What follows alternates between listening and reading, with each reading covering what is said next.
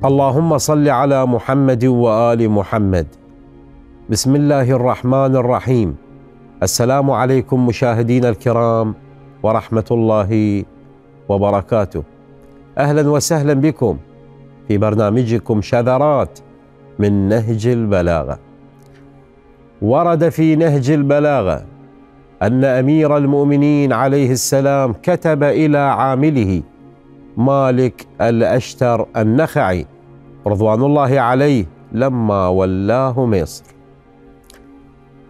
ثم اختر للحكم بين الناس أفضل رعيتك في نفسك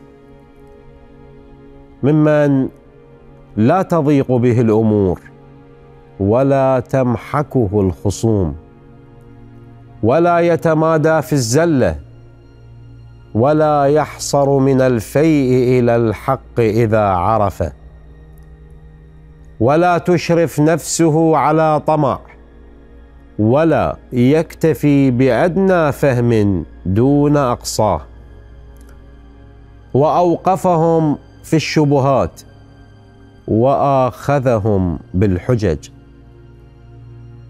وأقلهم تبرما بمراجعة الخصم. وأصبرهم على تكشف الأمور وأصرمهم عند اتضاح الحكم ممن لا يزدهيه إطراء ولا يستميله إغراء وأولئك قليل. ثم أكثر تعاهد قضائه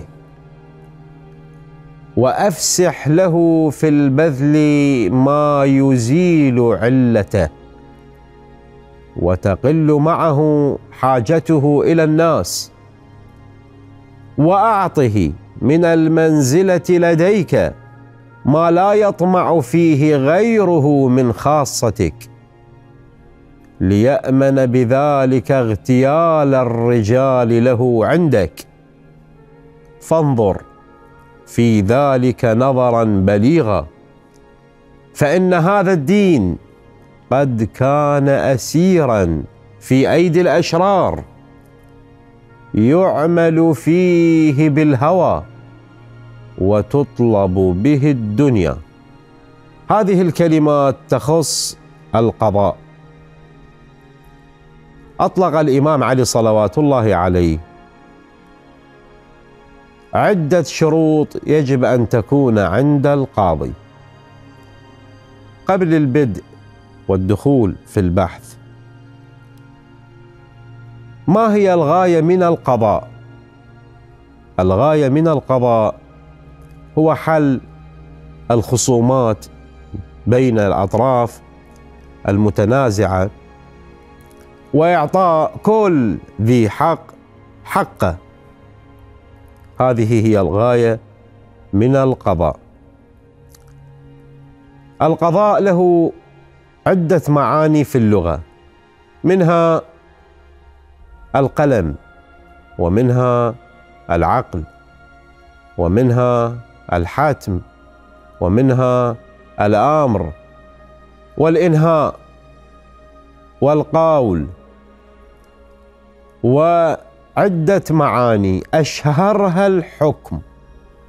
القضاء يعني الحكم. وهناك شروط يذكروها العلماء. يجب أن تكون عند القاضي. اولا يجب أن يكون القاضي مؤمنا يعني الإيمان. الإيمان شرط من شروط القاضي فلا يصح القضاء من الكافر. ثانيا الذكوره يجب أن يكون القاضي ذكرا وليس أنثى. ليش؟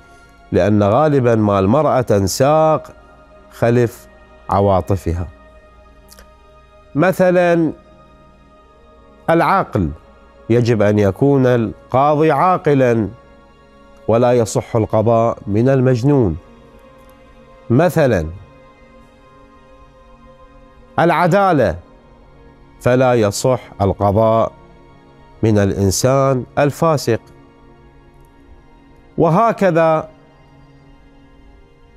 عندما يذكر العلماء أشياء يفصلوها في كتبهم واللي يحب يراجع كتب العلماء كتب الفقهاء في شروط القاضي. الذي فصل مؤخرا بين السلطتين يعني السلطة القضائية والسلطتين التشريعية والتنفيذية هو مونتسكيو كان مونتسكيو عضوا في البرلمان الفرنسي عام 1714 هذا الرجل فصل بين القضاء وبين السلطتين التشريعية والتنفيذية. طبعا الإمام علي صلوات الله عليه كما يقول الشيخ محمد جواد مغني طيب الله ثراه الشارح لنهج البلاغة يقول سبق الإمام علي سلام الله عليه مونتسكيو حيث أنه بأبي وأمي فصل القضاء عن السلطتين التشريعية والتنفيذية. يقول الإمام لمالك ثم اختر للحكم بين الناس هنا نستنتج من كلام الإمام. نستنتج أن القاضي يأتي عن طريق الاختيار ما للوالي الحاكم. ولا يجوز أن يكون القاضي يؤتى به عن طريق الانتخاب لأنه هناك مساوئ كثيرة وعواقب غير محمودة إذا جيء بالقاضي عن طريق الانتخاب. بعض الدول المتقدمة إلى الآن يأتون بالقاضي عن طريق الانتخاب وهذا خطأ. المساوئ اللي تحل شنو؟ اولا إذا جيء بالقاضي عن طريق الانتخاب الناس لا تعرف خلفية القاضي. الناس ما تعرف خلفية القاضي، هل هو صالح أم طالح؟ غث سمين. له خلفية علمية أم لا؟ له خلفية عملية أم لا؟ فكيف يكون الانتخاب للقاضي؟ القضية الثانية غالبا ما تقع الانتخابات عن طريق الترهيب والترغيب فإذا جيء بالقاضي على طريق الترهيب والترغيب فكيف سيحكم بين الناس؟ هو أصل الموضوع فيه خطأ لأنه جيء به عن طريق الترغيب أو الترهيب.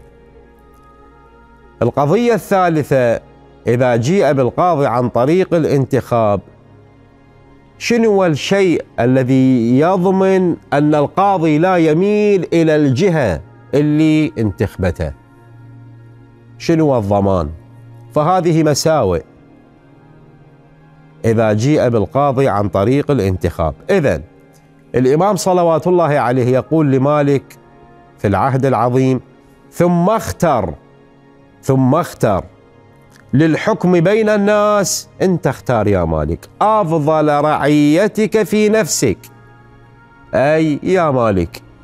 اختار قاضي يكون أفضل الرعية في نفسك علما وعملا لا زهدا مثلا وسخاء لا علما وعملا. عندنا الشيخ محمد جواد مغني طيب الله ثراه يقول لما يمر على شرح إحدى العبائر يقول يجب أن يكون القاضي عالم مجتهد. سألت أحد الفضلاء قال لي بل يجب أن يكون الأعلم فعلما وعملا. هذه هي أساسيات القاضي. يجب أن يكون عالما ويجب أن يكون عاملا. ويجب أن يكون عادلا. ويجب أن يكون منصفا. ويجب أن يكون محقا لا ظالما كما أسلفت في الشروط التي ذكرتها.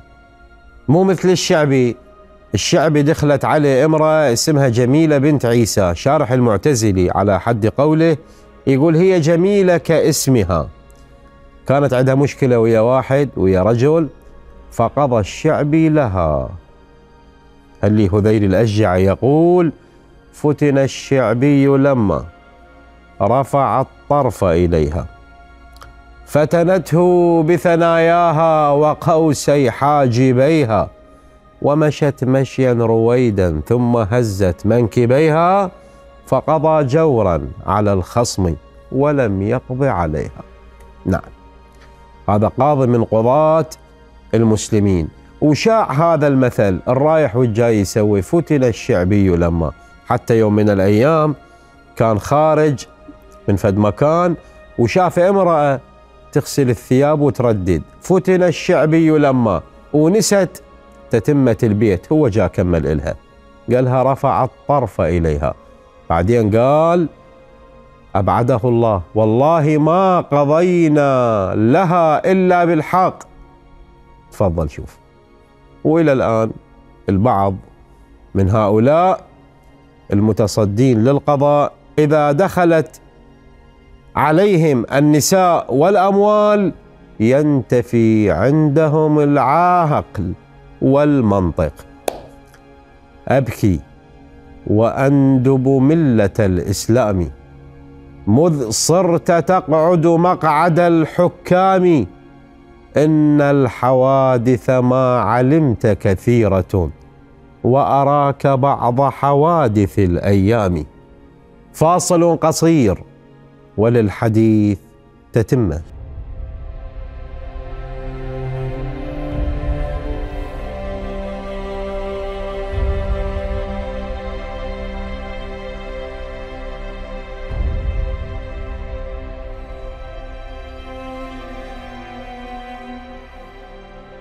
أهلا وسهلا بكم في برنامجكم شذرات من نهج البلاغة.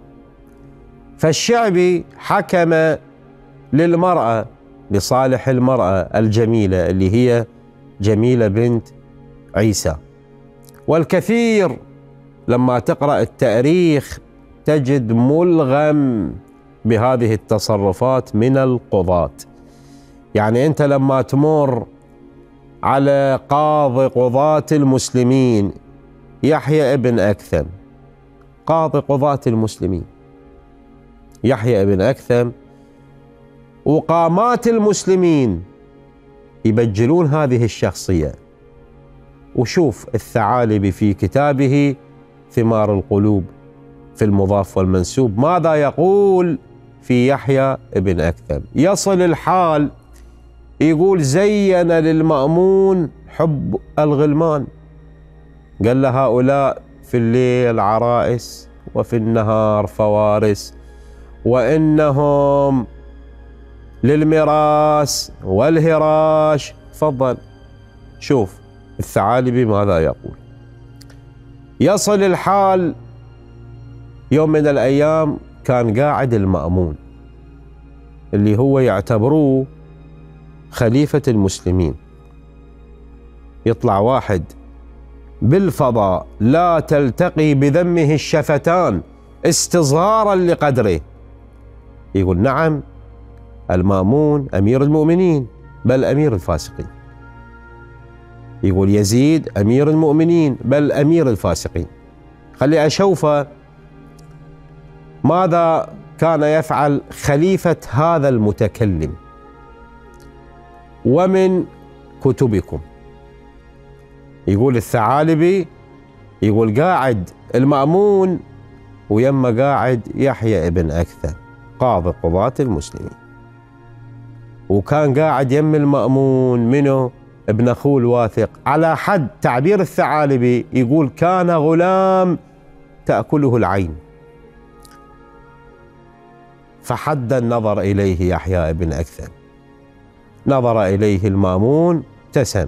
قال له أبا محمد حوالينا لا علينا. قال له إن الكلب لا يأكل النار. تفضل شوف. إلى الآن قاماتهم تقول. بعض ما ورد عن يحيى بن أكثم غير صحيح يعني أكو صحيح. وعفى الله عنه وعفى عنا. وكنا نرجي أن نرى العدل ظاهرا. فأعقبنا من بعد ذاك قنوط متى تصلح الدنيا ويصلح أهلها وقاضي قضاة المسلمين؟ إلى آخره. على أي حال كون أنزه المكان.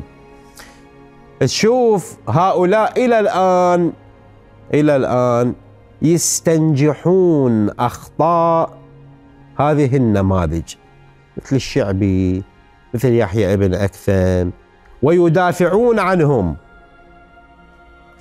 ويجيك ويقول لك المأمون أمير المؤمنين. ويجي يقول لك يزيد أمير المؤمنين. نعم هؤلاء هؤلاء هواية عليهم هذه النماذج وهذه البيوت. قل له هند يقول لك رضي الله عنها. قل له ولادة بنت المستكفي يقول لك رضي الله عنها. ولادة بنت المستكفي بنت أحد ملوك الأمويين في الأندلس.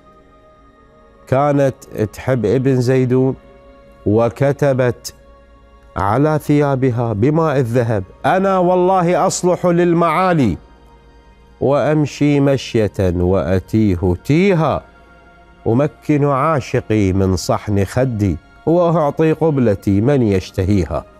وتعال شوف هؤلاء يستنجحون أخطاء هذه النماذج يقول يزيد مثلا أمير الفاسقين أمير المؤمنين.